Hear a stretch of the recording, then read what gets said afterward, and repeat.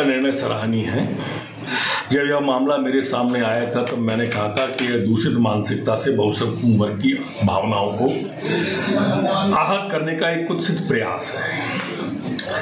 Real life real life पर भी असर डालती है। इस बात का निर्माताओं को, निर्देशकों को और कलाकारों को, सभी को इन चीज़ों का ध्यान रखना चाहिए। का निर्णय सराहनीय है। जब यह मामला मेरे सामने आया था तो मैंने कहा था कि यह दूषित मानसिकता से बहुसंख्यक उम्र की भावनाओं को आहत करने का एक कुत्सित प्रयास है। रियल लाइफ रियल लाइफ पर भी असर डालती है। इस बात का निर्माताओं को, निर्देशकों को और कलाकारों को, सभी को इन चीज़ों का ध्यान रखना चाहिए।